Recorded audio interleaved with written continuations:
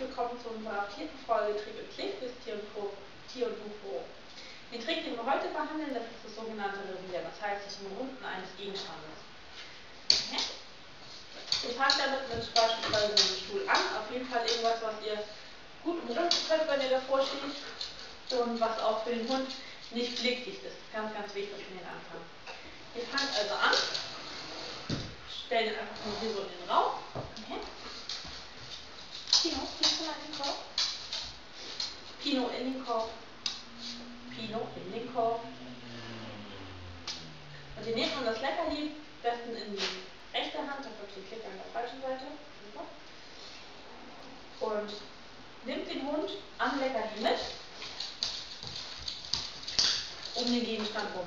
In dem Moment, wo der Hund wieder vorne ankommt, bestätigt ihr. Okay.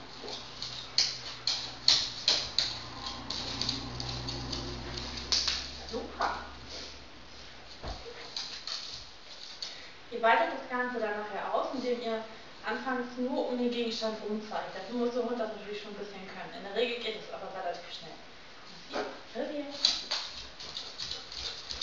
Jawohl. Deswegen ist es eben so wichtig, dass dieser Gegenstand auch ähm, durchsichtig ist, damit ihr, beziehungsweise der Hund auch sieht, was ihr gerade macht. Mhm.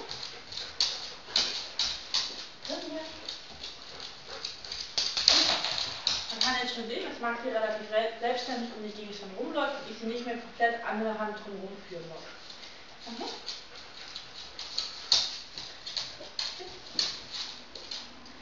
Ähm, ihr führt das Ganze nachher weiter, indem ihr euch ein bisschen weiter wegstellt, den Hund von hier aus um den Gegenstand schickt. Massiv. Und hier. Super.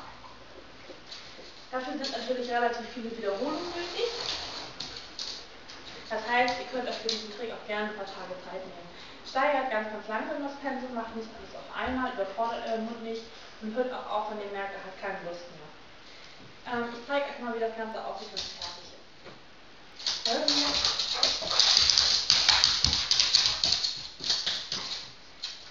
Man sieht hier, dass ein glatter Untergrund für diese Übung eher ein bisschen ungeeignet ist, weil die Hunde rutschen fit. Ähm, ihr könnt das Ganze auch ausbauen, indem ihr das nachher draußen übt, den Hund beispielsweise um einen Baum oder eine Laterne rumlaufen lasst. Und je nachdem, wie sicher euer Hund ist, könnt ihr euch immer, immer weiter wegstellen. Das heißt, ihr schickt den Hund nachher wirklich per Handzeichen in die Richtung, wo er rum soll. Einige Hunde tun sich ein bisschen schwer, auf Anhieb von weiter weg sofort um einen Gegenstand rumzulaufen. Geht auch da gerne wieder ein paar Schritte zurück, stellt euch dichter an den Gegenstand ran. Geht einmal rum, geht wieder ein paar Meter weiter weg und baut das Ganze langsam auf. Wenn ihr merkt, es klappt nicht, dann macht ihr eben Rückschritte. Das ist, wie gesagt, bei allen anderen Tricks auch überhaupt nicht schlimm. So, ich hoffe, es hat euch Spaß gemacht. Ich freue mich auf eure Ergebnisse. Fragen und Antworten wie immer unten drunter. Und dann freuen wir uns auf Videos.